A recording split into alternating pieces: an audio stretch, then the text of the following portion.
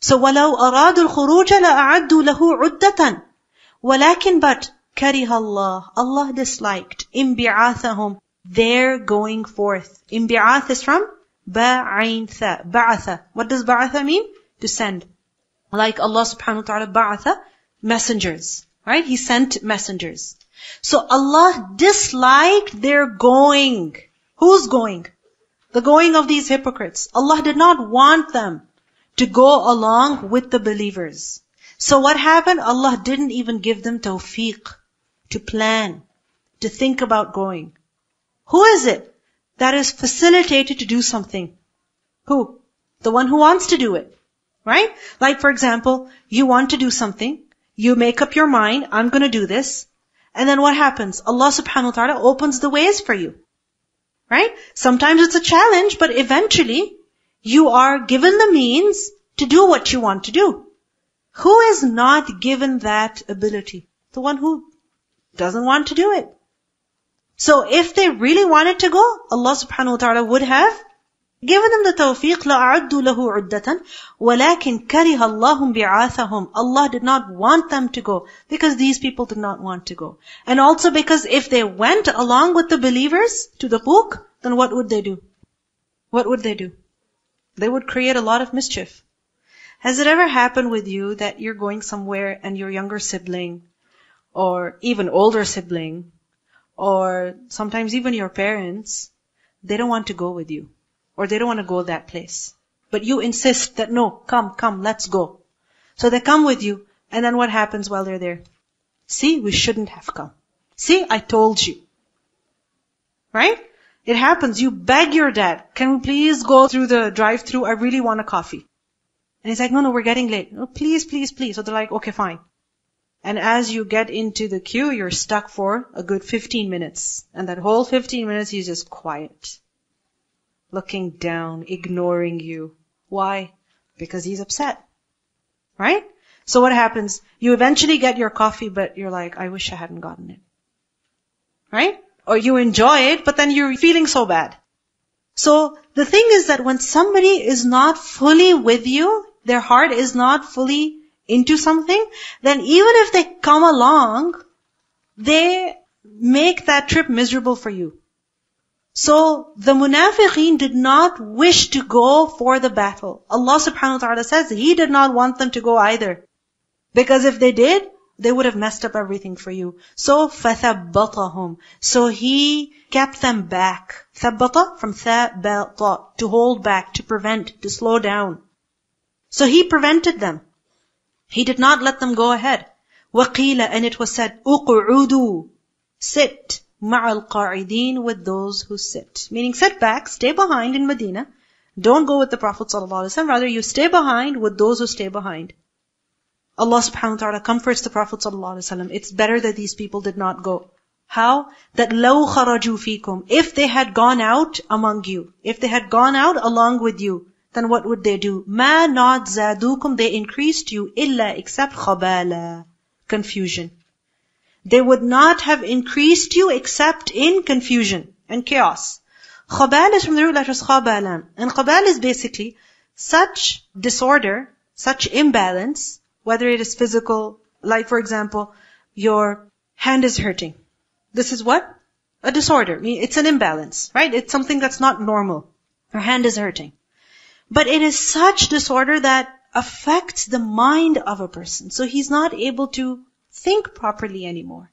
It mentally disturbs him.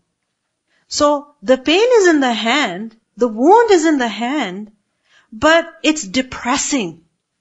Has it ever happened? That you're sick and that sickness is causing you to become depressed and sad. Have you ever experienced that? Yeah. Sickness making you sad. This is why it is said, خَبَلَ الْحُبُّ عَقْلَهُ Love, it ruined his heart. Meaning that extreme love made him go crazy. Or خَبَلَ الْحُزْنُ عَقْلَهُ That the huzn, the grief, made him lose his mind. It mentally disturbed him. Allah subhanahu wa ta'ala says, if these people had gone out with you, they would have mentally disturbed you. They would have mentally disturbed you. Imagine, you have three little children with you, toddlers, and they haven't napped and they haven't eaten. And you take them out to a restaurant, which is not child friendly. And you sit them down. First of all, they're not sitting. Secondly, they're banging the cutlery everywhere. Thirdly, one of them dropped a cup and now there's glass everywhere. Fourth, they're screaming. They can't wait for the food to come. What's going to happen by the end? You're gonna go crazy. They're already crazy, but they're gonna make you crazy. You're not gonna be able to think straight anymore. Khabal. You know, it's like when you're thinking, your vision becomes blurry and you're like, what am I supposed to do? So people sometimes scream. Uh, they say, I need a break. I just need five minutes to myself. I need to calm down. So they go to the washroom, take a deep breath, wash their face, and then when they're relaxed, they go back. Ask me. I have two kids. It happens many, many times. Right? Where I tell my husband, are you in a good mood? If you are in a good mood, only then we're gonna go. Because I am almost gonna lose my patience. Right? So one has to balance out the other.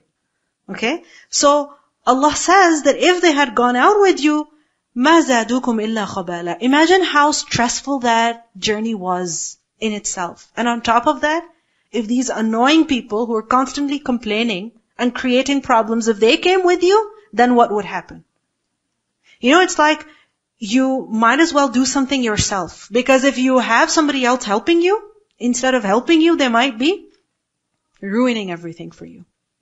Right? Because some people, they come with sincere intentions, they really want to help you out, but instead of helping you, they create more problems for you. So you're like, please go, I'll just handle this myself. I'd rather do this myself. Okay? So ما زادوكم إلا خبالا. Just reminds me of something. Family Matters. Have you seen it? Family Matters? It's an old, old TV show. Steve Urkel? Okay. So what happens? Comes in to help people, and instead of helping, what does he do every time? What does he do? Disturbs everything. So when is peace achieved? When he's gone. Please go away so that we can have peace. Obviously that's not normal, but just giving you an example. So if these hypocrites came along with you, what would they do? مَا زَادُكُمْ إِلَّا خَبَالًا They would have driven you crazy. So it's best that you went out without them. It's best that you went out without them. Because imagine the Prophet ﷺ, he knew that we're already short in numbers. 30,000. The Romans would be much, much more. Alright? Each and every single person was needed and valuable.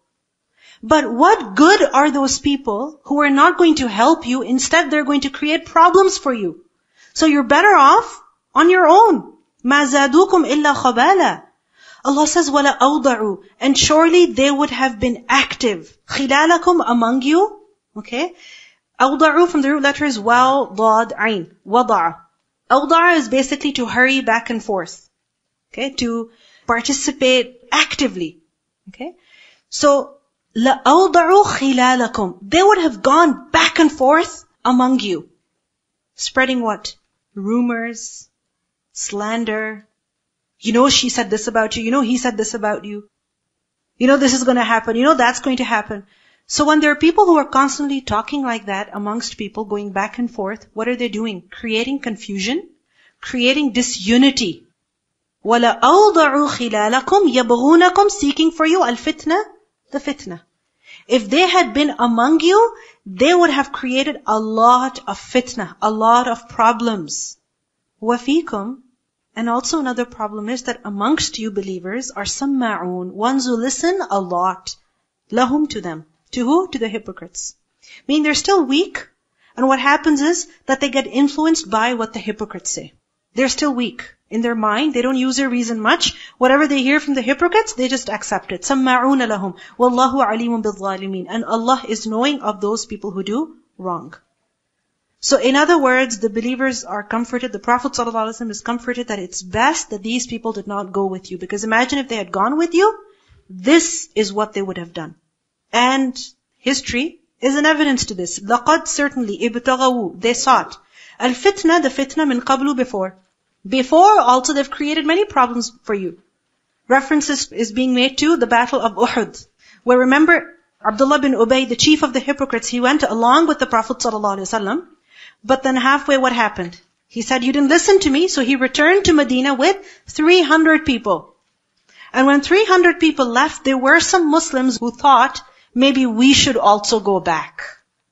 And that's what we learn about in the Quran. إِذْ هَمَّ الطَّائِفَتَانِ مِنْكُمْ أَن تَفْشَلَ They were about to give up their hope also. They were about to go back. Following Abdullah bin Ubay. So Allah says, لَقَدْ ابْتَغَوُا الْفِتْنَةَ مِنْ قَبْلِ Before also, they've created problems for you. وَقَلَّبُوا And they upset. قَلَّبَ يُقَلِّبُ تَقْلِيب is to turn something about. From the same root is the word qalb. Qalb is the heart, because the heart is never the same. It's constantly changing.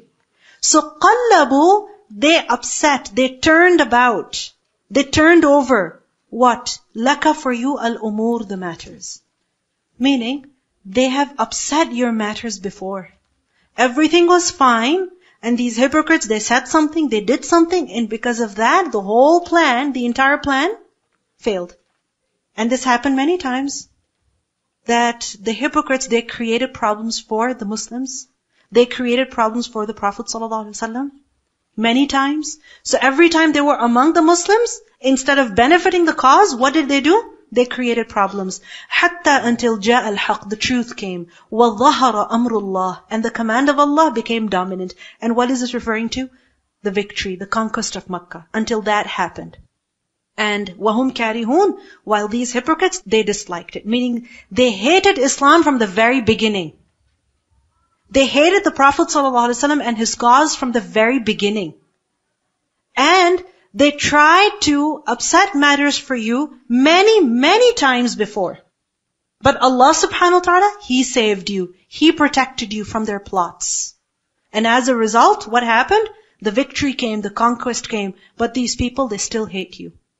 They're still among you pretending to be Muslim, but their loyalties are not with you. Allah says, وَمِنْهُمْ and from them, man who, يَقُولُ he says, then give permission, leave for me. He comes to you asking, please allow me. Allow me to do what? To stay behind from the expedition to Tabuk. Please allow me to stay back, to not participate in this expedition. And he says, wala, and please do not, taftinni, you put me to fitna. Don't put me in temptation, in trial. Because I'm a very weak person and I'm afraid that if I go along with you, then I will fall into sin. I will fall into fitna. What is this referring to? There was a man by the name of Jud bin Qais. And he was also a munafiq, like Abdullah bin Ubay. And it is also said that he was the leader of a tribe. So obviously he was influential. There were many people who followed him, who were impressed by him. Whatever he said, they accepted. سَمَّعُونَ لَهُمْ Okay. So what happened? This guy, he came to the Prophet ﷺ and he presented an excuse. And it was the lamest excuse that, you know, any person could come up with. He said, I have heard that the Roman women are very beautiful that they're very fair, they're blonde, they're very beautiful in their appearance. So I'm afraid that if I go there, I'm gonna commit some sin. If I see them, I'm gonna commit some sin. What sin is he referring to? Obviously something of sexual nature, right? This is the excuse that he presented. The Prophet ﷺ, he just turned his face away from him. Because imagine if somebody says something so ridiculous to you, what are you gonna do? It's disgusting to hear such a thing also. You can't even control yourself this much. You've just heard that they're very beautiful, and so you won't be able to control yourself? What are you talking about? What kind of a man are you? وَمِنْهُمْ مَنْ يَقُولُ ذَلِّي وَلَا تَفْتِنِّي Don't put me into fitna. And he's trying to appear as someone who's so pious and so God-fearing. Don't put me into fitna. I'm afraid I'm gonna commit some sin. And you know what? Sometimes shaitan, he puts similar thoughts in our hearts. Don't do this, otherwise you'll do riyah. No, no, no, no, no. Don't learn how to recite the Quran. Don't memorize the Quran because, you know what? If you do riyah, everything, you're gonna go to hellfire. He makes us stay behind from good. Okay? With such reasons, with such explanations. If you do it, you might You might. It's like people say, I don't want to learn because when I will learn, then what if I'm not able to do amal on it? Then I'll be even more responsible. This doesn't mean that we should not have any fears. No, you should have fears and you know your weakness, but if you find one thing difficult to do, there are so many other things that you can do. So وَمِنْهُمْ مَنْ يَقُولُ إِئْذَنْ لِي وَلَا تَفْتِنِّي Allah says, Allah, unquestionably, fil fitna, in the fitna, saqatu, they have already fallen. They're already committing sin. How? By lying to you. By all this pretense, this show before you, I'm so pious, I'm so holy. Look, I'm so pious, I don't even want to go near the haram. Whereas in reality, you're staying away from something that is mandatory on you. أَلَا فِي الْفِتْنَةِ سَقَطُوا وَإِنَّ جَهَنَّمَ And indeed the hellfire لَمُحِيطَةٌ بِالْكَافِرِينَ Surely it is one that will encompass the disbelievers. Muhita, ihata, hawata. It is going to encircle them, encompass them. They think they will fall into fitna. Well, the real fitna, the real punishment is that of hellfire. With these lame excuses and lies, they're going to end up where? لَمُحِيطَةٌ بِالْكَافِرِينَ They're going to end up in Jahannam. What's the lesson? What do we learn of benefit to ourselves? Yes? That when you have to do something, don't shy away from it. Accept it and do it.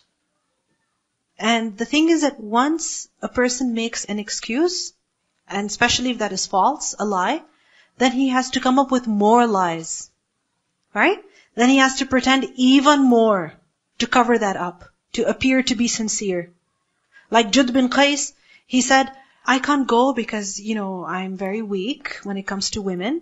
However, if you want any financial help, you know, I can help you with that. He offered financial assistance, but he said, I can't go myself. So many times it happens that we make an excuse one way and we try to make up for it through another way. But it's not going to help. It's not going to work. ومنهم من يقول ذلي ولا تفتني ألا في الفتنة سقطوا وإن جهنم لمحيطة بالكافرين إن تصيبك if it reaches you حسنة some good تسؤهم it makes them sad if some good befalls you meaning you're successful then what happens they become really sad why do they become sad why are they upset because they were not with you right because they made excuses stayed behind Alright? And they didn't go. You were victorious. Allah granted you success. So now they're sad. Why are they sad? Because they're not going to have a share of it. وَإِنْ and if tusibaka it reaches you. What? Musibatun, a trial, a test, a difficulty, meaning some hardship, failure. If you suffer from that, يَقُولُ they say, قَدْ in fact, أَخَذْنَا we took أَمْرَنَا our matter min qabl before. Meaning, I knew this was going to happen. So I was being careful from before. And see, I saved myself. I didn't go along with the Muslims. وَيَتَوَلَّوْا And they turn away. وَهُمْ فَرِحُونَ While they're very happy. They're rejoicing. Very happy about what? That they were not with you when you were suffering. What does this show? That a munafiq, he is not loyal to the Muslims and the cause of Islam. Who is he loyal to? Himself his benefit.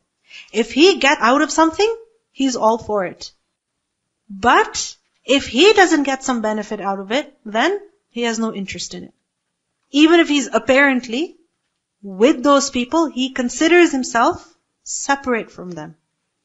The thing is that when you belong to a group, like for example a family, when you're part of that family, then if someone is happy, you are happy. Why? Because you are part of that family. If someone is sad, then you are sad. Why? Because you are part of that family. If your sister, you know, she is successful in her school, she is getting married, she had a baby, you are equally happy. And if someone is sick, you are equally distressed. Why? Because you're part of them and they're part of you. You belong to them and they belong to you. You are one. You are together. Right? But what happens? Some people, even though they belong to a family, they don't want to be a part of it. So they always consider themselves separate. So what if it's my sister's wedding? What's the big deal? Not my wedding. Why should I be super excited? So what if this person passed away? What's the big deal? Everybody has to die anyway one day. Why are people fussing so much over it? Right? They say such harsh statements, such mean statements. Why? Because they don't feel they belong or they have excluded themselves. They have separated themselves from the family. Is it hurtful for the rest of the people of that family? It's very hurtful. When there's a death in the family and this person doesn't have the courtesy to at least offer words of condolence. When there's a reason to be happy in the family and this person is not congratulating the others, is not celebrating with the family. It's very hurtful. Right? So in a group of people also, when people are working together for the same cause, their victories, one person's victory is a victory of the whole group. And one person's failure or weakness or suffering is felt by the entire group. This is unity. Muslims are what? Like one body. So a Muslim can never be like this. That, oh, I wasn't a part of them, so too bad. I didn't get anything out of it. He's not happy for the success of the others. He's sad. This does not befit a believer. A hypocrite is not loyal. إن تصبك حسنة تسؤهم وإن تصبك مصيبة يقولوا قد أخذنا أمرنا من قبل ويتولوا وهم فرحون So what does it show? That even if they're apparently with you at certain occasions, it is only to satisfy your eyes. They're not actually with you. Their hearts are not with you. Because if they were with you, that would show from their words. قُلْ say, Say to the hypocrites that لَن يُصِيبَنَا It will never reach us. إِلَّا except مَا كَتَبَ اللَّهُ لَنَا What Allah has written for us. If we get something, it's because Allah wrote that for us. If we suffer from something, it's because Allah decreed that for us. Anything that happens, good or evil, it happens why? Because Allah decreed it for us. So, we are happy or we are sad, but at the end of the day, we accept Allah's decree. لَن يُصِيبَنَا إِلَّا مَا كَتَبَ اللَّهُ لَنَا Because as believers, as Muslims, what do we believe in? Al-Qadr. Right? خَيْرِهِ وَشَرِّهِ We believe that everything is decreed by Allah, the good of it and the bad of it. Both come from Allah. So only what Allah wants will happen. And whatever Allah does not want, can that ever take place? Never. So this belief in Al-Qadr makes a person content and satisfied, no matter what happens. It makes him content. It makes him satisfied, even if he's suffering a lot. It relaxes him. It takes his worries away. It takes the stress away. And it makes him fearless also. Then he doesn't have this fear. What if this happens? What if that happens? No. A person knows this is maktub. It is written. I remember reading in a book about this person who lived in the Arabs for a very long time, and one thing that he was amazed by was this belief in decree that they had. That big sandstorm, their animals dead, their tents ruined, and everything's gone, and now they have to pack up and go elsewhere. And what do they say? Maktub. Maktub. It was written. Move on. Accept it. Move on. Now let's deal with the situation. What can we do? Our problem is something happens and we just sit there and start crying and wailing and complaining. Is that going to solve anything? Never. So have this confidence that لَن يُصِيبَنَا إِلَّا مَا كَتَبَ اللَّهُ لَنَا. So if it happened, Allah willed it. And there must be some wisdom, some benefit behind that. This is why it is said, "Man alima sirra Allahi fil qadri, hanat alayhi al That the one who knows the secrets of Allah concerning divine decree, that decree is Allah's secret knowledge, and there is some wisdom behind it, whatever He's decreed. Then what happens? Hanat alayhi al Then his hardships become easy for him. The hardships become easy for him. Doesn't mean they go away. They're still there. But it's just easier to deal with them. It's easier to face them. قُلْ لَن يُصِيبَنَا إِلَّا مَا كَتَبَ اللَّهُ لَنَا هُوَ مَوْلَانَا And we expect only good from Him. So even if the worst has happened, we hope that insha'Allah there will be something good in it. Because He is our protector. وَعَلَى اللَّهِ فَلْيَتَوَكَّلِ الْمُؤْمِنُونَ And upon Allah should the believers rely. In a hadith in Musnad Ahmad, we learned the Prophet ﷺ said, there is a reality to everything. There is a reality to everything. Meaning once you get to know about something, the more you know it, the more convinced you are of it. Right? And then it's not just some information, but it's a fact for you. Okay? It's a fact for you. It's something that you live by. So there is a reality to everything. And a servant cannot attain the reality of Iman. Listen to this attentively. A servant cannot attain the reality of Iman, meaning he cannot know what Iman really is until he knows that whatever has reached him could not have missed him. And whatever has missed him could never have reached him. When a person understands this reality, believes in this, that what I have received could never have missed it. And whatever I've missed, I could never have attained it. When a person believes in this, then he has experienced Iman. Then he has realized what true faith is. Then he has realized the reality of Iman.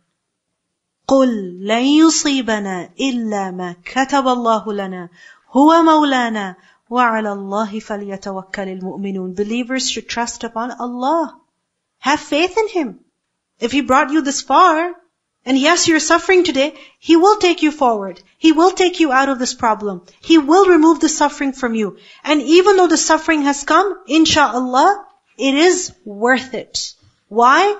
Because there is some good that came out of it. I hope you watched that entire video yesterday. Hmm? What is one of the things that he mentioned? That if this whole thing happened just so that I could find Islam, it's worth it. It's worth it. You look at the good in the bad also. And when you realize that good, what do you realize? That evil was worth it. And you know what? When you look at everything with this perspective, inshallah there will be some khair in this. Then you can never be disappointed. It gives you confidence, it gives you peace, takes your worries away, and really you can never be disappointed.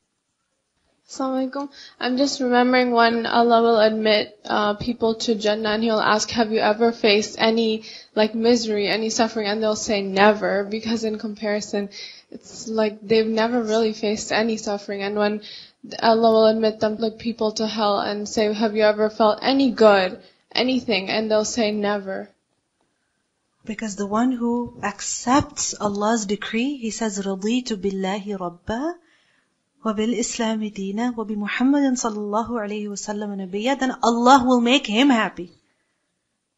The one who accepts Allah's decree, then Allah will make him happy. So happy that that person will forget all his worries. And this is something that people experience in this world even. This is why the ulama said that the one who doesn't enter the Jannah of this dunya will not be able to enter the Jannah of the hereafter. What is the Jannah of dunya? That peace and contentment that you feel in your heart despite the worries that surround you. Despite the difficulties that fill your life. That contentment, that khair inshallah. Whatever has happened, there must be something good in it. Assalamu alaikum wa rahmatullah. This reminds me of one what I heard where um, the Sheikh was trying to just like trying to explain the reasons why there is evil for atheists that say the excuse, oh, there's no God because there's evil. Well, because if there's no evil, if there's no one thing, like God, two opposites, if there's not one, you can't really know the other. If exactly. there's no bitter, you won't know what's sweet. So things are known by their opposites, right? So even though Allah subhanahu wa ta'ala sends difficulties in our lives, musibah, the Prophet sallallahu he suffered so much. Allah subhanahu wa ta'ala, when He loves a servant, when He intends something good for him, then He tests him. He puts him to difficulty and hardship. So there's always some wisdom behind that hardship. And what is that? Sometimes you appreciate the good even more. You have appreciation for khair. So Allah allowed evil to happen so that you can appreciate good. So قُلْ لَن يُصِيبَنَا إِلَّا مَا كَتَبَ اللَّهُ لَنَا هُوَ مَوْلَانَا وَعَلَى اللَّهِ فَلْيَتَوَكَّلِ الْمُؤْمِنُونَ On Allah should the believers trust. Place your trust in Him. Rely on Him. Ya Allah, you decreed this for me. There must be something good in it. Show me that good. Give me the ability to embrace it. Give me the ability to benefit from it. Because you know what? Everything that happens, everything that happens, it's actually an opportunity for you to come closer to Allah subhanahu wa ta'ala. Even if it's great misery and difficulty. Like for example, Yunus alayhi salam. Even though he was in the belly of the fish, and it is said that when he was in the fish, imagine the enzymes of the stomach, what would they be doing? Consuming his body.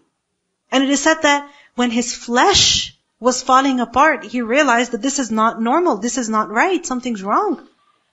And then he begged Allah, La ilaha illa anta subhanaka inni kuntu min He was in the depth of the darkness of the ocean, and what happened? Allah subhanahu wa ta'ala brought him out. Right? Allah subhanahu wa ta'ala raised him again. So everything that happens, even if it's the most difficult, as long as you're living, it's an opportunity for you to get closer to Allah subhanahu wa ta'ala. It's an opportunity for us to get closer to Allah subhanahu wa ta'ala. But what happens is that when we start complaining about the negative, the negative, it's so cold, it's still so cold, it's still so cold, then you know what? You can't understand why it's happening. You don't know why Allah has put you in that situation. So when we're in difficulty, first of all accept it and beg Allah, Ya Allah, show me the reason why. Why you decided that this should happen in my life. Like for example, these days we're complaining continuously. Everyone I hear, this winter has been very miserable, has been relentless, has been like this, has been like that. I don't remember a winter like this. Think, why? Why? Think about it. Reflect on your life. Reflect on your state. Why is this happening? And you should know. Beg Allah for forgiveness. Do istighfar. Thank Him for the blessings that He has given you. Assalamualaikum. Just um, one quick point I wanted to mention.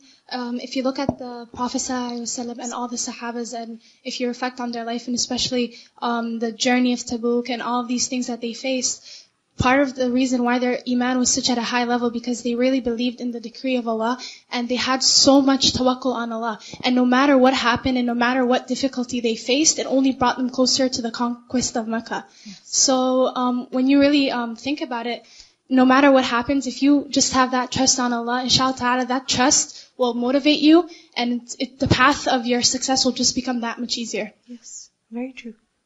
So accept the difficulty, embrace it, Focus on the benefit and inshallah you'll come out of it better than you were before. Much better. قُلْ say, هَلْ do تَرَبَّصُونَ You all wait. Bina for us. O Prophet ﷺ, O Muslims, say to the hypocrites, that are you just waiting for us? Meaning you are happy when something evil happens, when we fail, when we suffer. You're very happy. And when we get something good, you're not happy about that. هل تربصون بنا? Are you waiting for us إلا except إحدى one of الحسنيين, the two good things? Meaning, the consequence of the believer is always good. Whether something good has happened or something bad has happened. It's always one of two good things.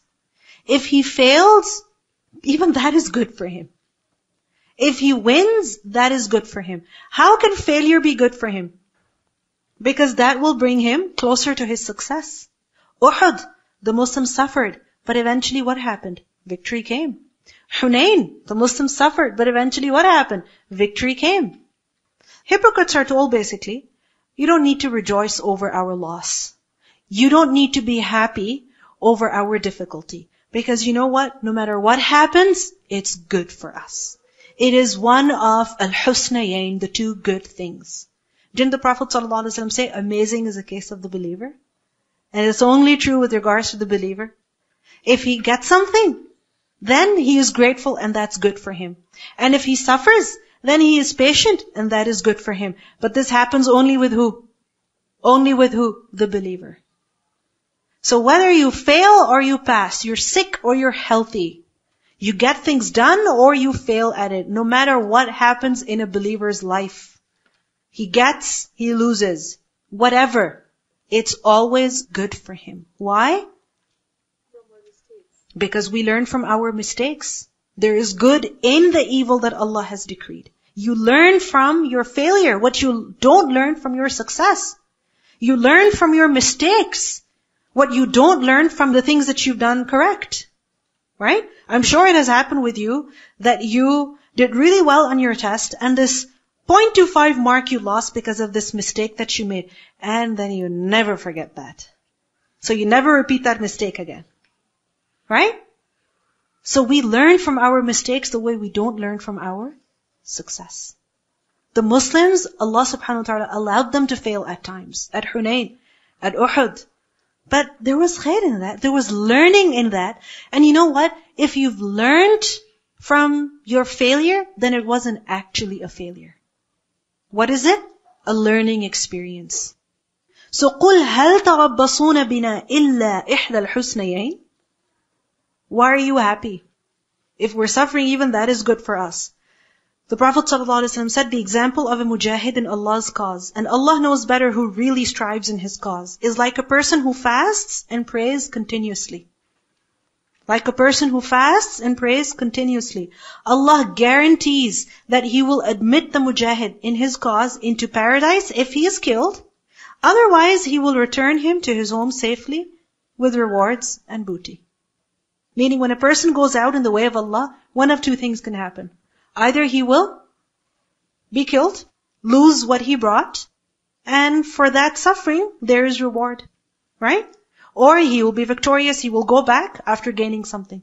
So basically, when a person is out in Allah's way, it's always a win-win situation. You're never losing, never ever losing in Allah's cause. You know in hadith we learn, when a person goes to the masjid, then what happens? For every step he takes, a daraja raised, a sin erased, right? And the whole time that that person spends in waiting for the prayer. The whole time that a person spends in waiting for the prayer. So let's say Isha is at 8 o'clock. Somebody leaves their house at 7.30. Then you know what? That half an hour and that 20 minutes of Isha, all of that is as though he is praying. A person is in prayer as long as he is waiting for the prayer. So, a person can never suffer in Allah's cause. Between adhan and salah. Sometimes there's literally 15 minutes and you're waiting. You're like, come on, already, salah. Right? I've been waiting for so long. But you know what? That whole waiting period is what? Written as reward for you because you're waiting to do something good. You can never lose. You can never suffer when you're in the way of Allah. Believe me, even a cent that you spend, even a cut that you have, anything, you're hungry, you're tired, doesn't matter. You're suffering in Allah's cause, doesn't matter. You're not actually suffering, you're gaining. You're gaining. You're always gaining in Allah's way. It's the highest paying job. You know, some people, when they work for a certain company, then what happens? They charge them even for the time that they're spending. Right? They charge them by the hour. So if it takes them 15 minutes to get to that workplace, they will put that 15 minutes in their invoice. 15 minutes it took me to get to the workplace. 15 minutes back. Alright? They will charge you for the time they're spending. And you're like, wow, you get paid for even driving to work? Yes, a believer gets paid by Allah for doing anything for the sake of Allah subhanahu wa ta'ala. That when a person sleeps in the right way, he makes wudu before going to sleep, he remembers Allah until he falls asleep, then you know what? There's an angel who makes dua for the person. Every time a person wakes up in the night, the angel makes dua, Oh Allah, please forgive your servant. He went to bed tahir. He went to bed in a clean state. Please forgive your servant. When a person finishes the prayer and he remains sitting in his spot, as long as he's sitting, the angels make dua. Allahumma khfir lahu. Allahumma arhamhu. Oh Allah forgive him. Oh Allah have mercy on him. So a believer can never suffer when he's in the way of Allah. Never at all. Every second, every moment is an investment. وَنَحْنُ and we نَتَرَبَّصُ بِكُمْ We wait for you.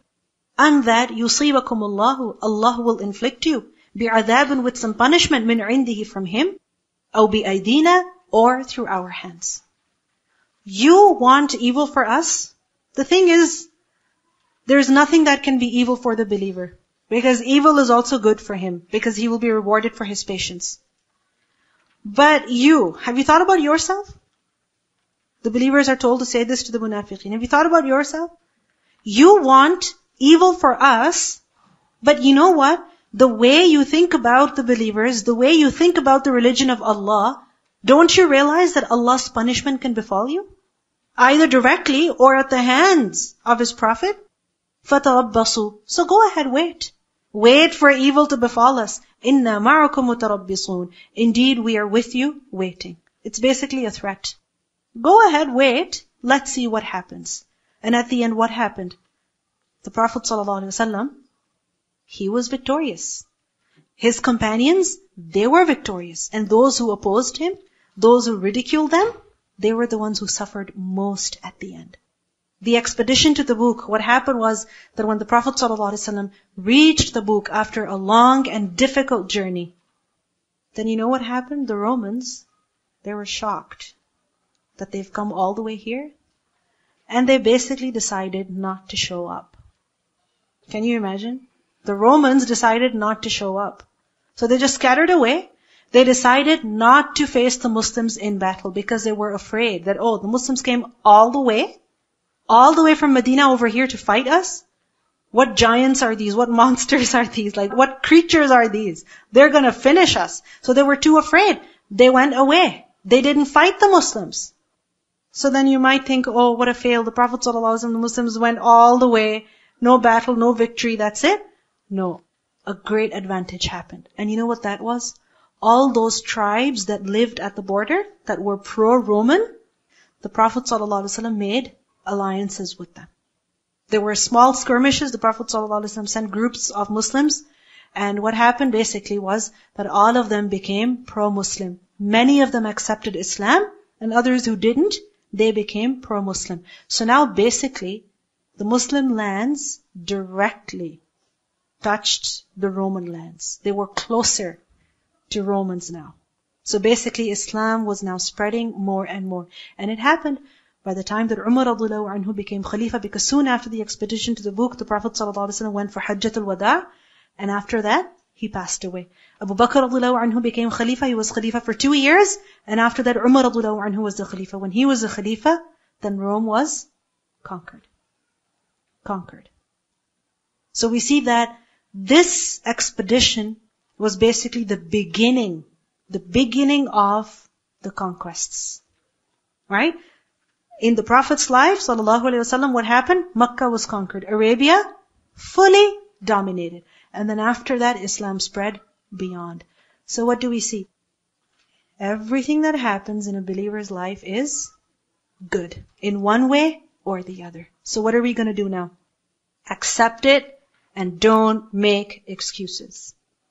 I don't want to hear from any group in charge that the people in my group didn't do the lesson because they had this to do or they had that to do. No more excuses. You know, like there are scholars who say, give your excuses a black eye. Recitation. ولو أرادوا الخروج لأعدوا له عد